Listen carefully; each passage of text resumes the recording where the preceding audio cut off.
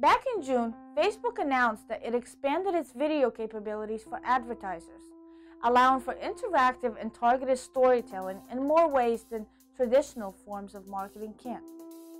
Facebook may not surpass YouTube as the most popular video website for now, but it sure is proving to be a threat.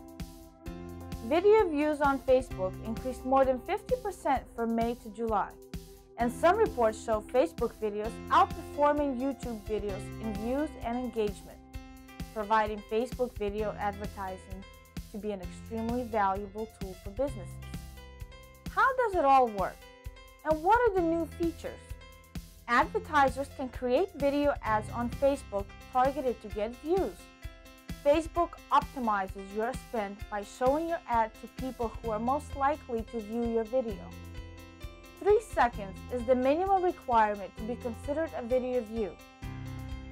Advertisers have the option of promoting previous video posts or uploading a new video and creating an unpublished video post that doesn't enter newsfeeds organically.